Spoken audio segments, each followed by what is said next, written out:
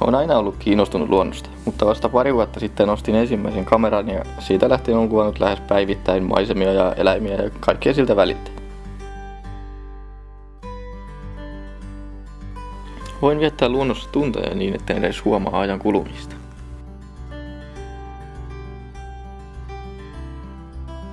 Monet on kysynyt, että enkö mä kyllästy tuolla mettässä rämpimiseen päivästä toiseen, mutta miten tähän voisi kyllästyä?